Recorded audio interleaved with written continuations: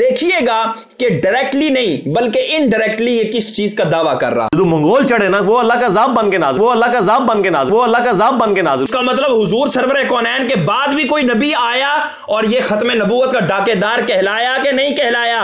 या ये फिर अपनी नबूवत का दावा कर रहा है? इन्हें पता नहीं है कि सूफी सारे मंगोलों ने खत्म किए हैं।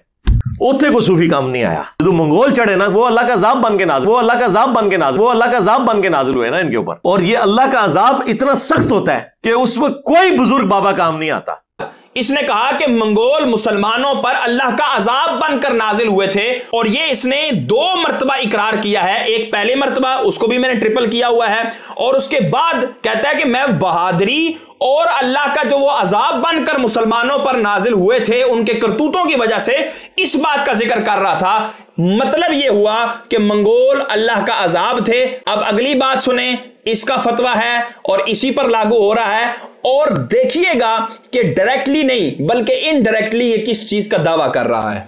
आज की डेट में, चूँकि पैगंबर वक्त दुनिया में मौजूद नहीं है, लिहाजा कोई भी आने वाली तकलीफ़ जो है, उसे आप कतन अजाब इलाही नहीं कह सकते। क्योंकि ये खालिसतन इल्मुल गैब से ताल्लुक रखने वाली चीज़ है, जो कि सिर्फ़ पैगंबर के साथ खास, कि सिर्फ़ पैगंबर के साथ खास, कि सिर्फ़ पैगंबर के साथ खास। बाज लोग हर चीज़ को अजाब इलाही के तौर पर प्रेजेंट करने की कोशिश करते हैं, ये बहुत बड़ी ज़रूरत है। कहता है कि आज की डेट में जब पैगंबर इस्लाम मौजूद नहीं है तो आप किसी भी चीज़ को अजाब इलाही डिक्लेयर नहीं कर सकते। जो ये कर रहे हैं, किसी भी चीज़ को अजाब इलाही कहते हैं, वो बहुत बड़ी जुरत करते हैं। इसलिए कि ये खास इल्मुल गैब से ताल्लुक रखता है, जो कि खासा नबूवत है। अब मिर्ज़ा ने मंगोलों को अल्लाह का अजाब करार दिया।